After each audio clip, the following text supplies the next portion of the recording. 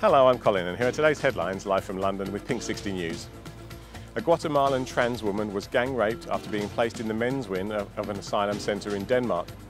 After escaping, she was forced to work in a brothel until rescued by police who told her the rape was a result of her own choices. Scotland's Roman Catholic leader has stopped all communication with the Scottish Government over gay marriage. He has asked for officials to deal with it after feeling his opinions have been totally ignored on the subject. The United Church of Canada has elected Reverend Gary Paterson as its new leader. Reverend Paterson becomes the first openly gay person to ever lead a mainstream church anywhere in the world. The three members of protest group Pussy Riot were sent to jail for two years on Friday. The sentences on charges of hooliganism are being criticised as too harsh by the EU. And finally, murder mystery web series Where the Bears Are is getting some attention. The first five episodes are available on Vimeo, and it's described as a cross between Murder She Wrote and The Golden Girls, but hairier.